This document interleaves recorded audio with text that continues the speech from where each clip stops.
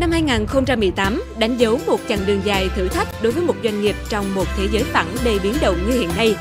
Tổng doanh thu Vitech tăng 22% so với năm 2017, trong đó máy tính tăng 15%, văn phòng phẩm tăng 164%. Nhìn về tương lai phía trước, con đường đi đến bến bờ ước mơ còn rất dài và lắm chông gai. Năm 2019, chúng tôi hiểu rằng cần phải có sự đổi mới về phương pháp thực hiện, thay đổi tư duy, đầu tư công nghệ, đồng thời phải có sự bền chí, quyết tâm và bản lĩnh mới có thể tiếp tục đi đến sự thành công như mong muốn. Mồ hôi dù có đổ nhiều hơn, nhưng hành trình của chúng tôi sẽ không ngừng vươn xa, vươn cao hơn nữa. Mục tiêu cho năm 2019 là tăng doanh số lên từ 50 đến 60% so với năm 2018. Tăng độ phủ các cửa hàng khắp các tỉnh thành trong cả nước, đào tạo nâng cao kỹ năng cho cán bộ nhân viên, xây dựng lộ trình thăng tiến, kế thừa cho những năm sau.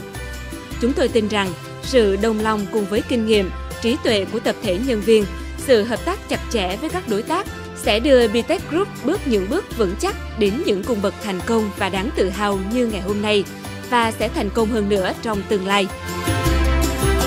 Vẫn biết rằng nền kinh tế Việt Nam nói riêng và thế giới nói chung luôn biến động, nhưng với sự nhạy bén, sáng tạo và tinh thần học hỏi vươn lên, mở rộng quy mô của ban lãnh đạo công ty, con thuyền Vitech luôn sẵn sàng vươn ra biển lớn, đối mặt với vô vàn thách thức của nền kinh tế thị trường đầy sự cạnh tranh ngày càng khốc liệt như hiện nay. Với phương châm uy tín tạo nên thương hiệu, nguồn nhân sự dồi dào của chúng tôi đã giúp Vitech Group khẳng định được thương hiệu và vị thế của mình trong thị trường kinh doanh. Từng nhân sự ở mỗi vị trí công việc đều ý thức được trọng trách cá nhân của mình, phối hợp và gắn kết với nhau một cách hiệu quả để tạo thành sức mạnh tập thể.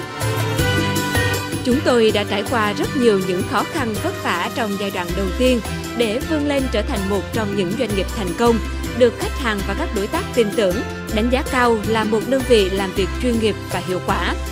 Đây thực sự là niềm tự hào lớn của Vitech Group, được làm nhà cung cấp sản phẩm với độ phủ ngày càng sâu rộng đến nhiều tỉnh thành trong cả nước.